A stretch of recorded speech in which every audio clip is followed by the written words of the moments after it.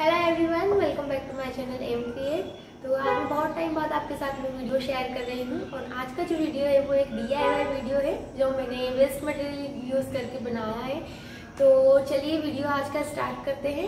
और आज का वीडियो स्टार्ट करने से पहले अगर आपने मेरे चैनल पर फ़र्स्ट टाइम विज़िट किया है तो मैं आपको बता दूँ कि मैं अपने चैनल पर D I Y makeover paintings और क्राफ्ट से रिलेटेड वीडियोस अपलोड करती हूँ। तो चलिए बात करते हैं आज की वीडियो की। आज का जो वीडियो है, वो जैसा कि मैंने आपको बता दिया, एक डी आई वाई वीडियो है और वेस्ट मटेरियल से बनाया है। बहुत ही इंटरेस्टिंग सा वीडियो है।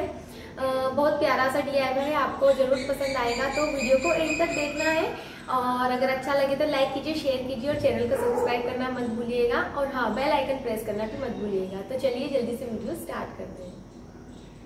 तो जैसा कि आप देख रहे हैं, यहाँ पर मैंने कुछ कुल्हड़ लिए हैं जो यूज़ एंड थ्रो होते हैं तो मैंने इन्हें फेंका नहीं है, इन्हें अच्छे से वॉश कर लिया है।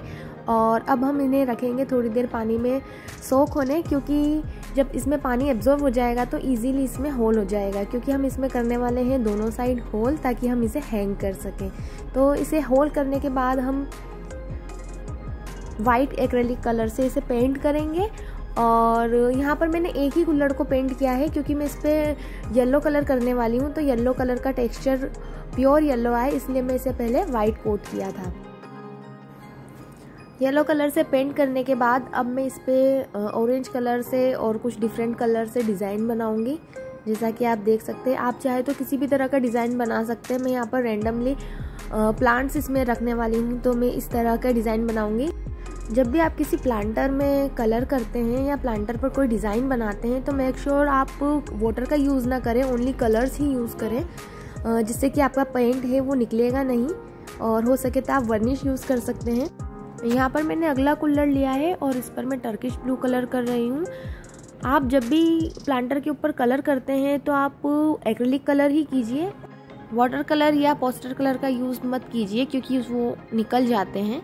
जैसे ही हम प्लांटर में वाटरिंग करेंगे तो वो उनके निकलने के चांस रहते हैं। तो आप एक्रेलिक कलर कीजिए और जैसा कि मैंने बताया, आप लास्ट में वर्निश कीजिए।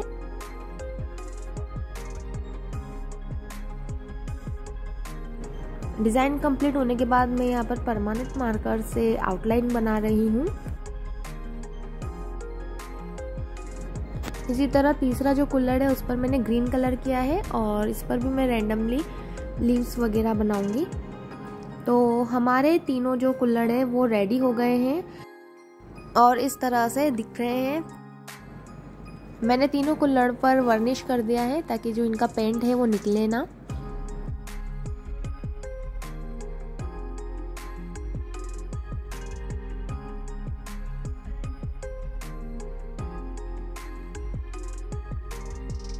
अब मैंने कुल्लड़ में जो हॉल किए थे उसमें ये थ्रेड लगाऊँगी और इस थ्रेड की हेल्प से उन्हें हैंग करूँगी। तो जो ये थ्रेड है, वो मैंने थ्री टाइम्स लिया है ट्रिपल लिया है, ताकि थोड़ा इस, थोड़ा ये मोटा भी हो जाए और जब हम इसे हैंग करें या इसके अंदर कुछ रखें तो वो टूटे ना।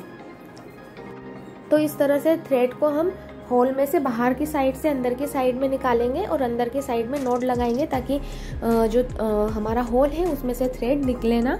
तो इस तरह से हमने सारे कुल्लड़ों में थ्रेड लगा देना है और अच्छे से नोट लगा देना है ताकि जो हम जब इन्हें हैंग करें तो ये निकले ना।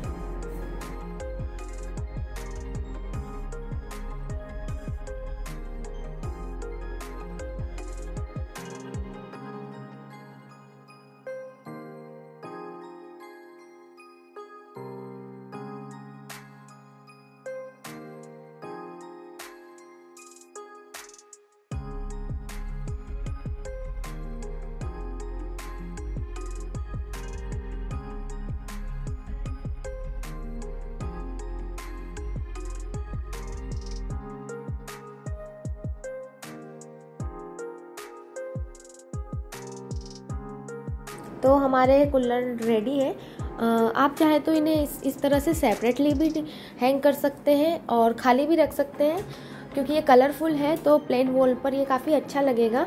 नहीं तो हम इसे सेपरेट ना रखकर अगर हम इसे अटैच करेंगे तो इसके लिए मैंने यहाँ पर ये चार स्टिक्स लिए और इन्हें मैं थ्रेड की हेल्प से अच्छे से बाँध देती हूँ ताकि ये ढीली ना हो और ये एक साथ बनी रहे। इसी तरह से मैंने दोनों साइड में जो स्टिक्स है, उसमें दोनों साइड में बाँध दिया है और सेंटर में मैं इस थ्रेड से इसे हैंग करूँगी। तो तीनों कुल्लड़ों को मैंने इक्वली यहाँ पर स्पेस देके हैंग किया है।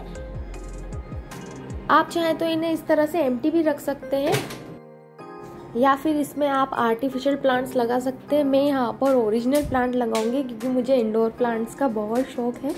तो मैं यहाँ पर ओरिजिनल प्लांट्स यूज़ कर रही हूँ। आप चाहे तो आर्टिफिशियल प्लांट्स यूज़ कर सकते हैं या कुछ भी ऐसी चीज़ लगा सकते हैं जो डेकोरेटिव हो।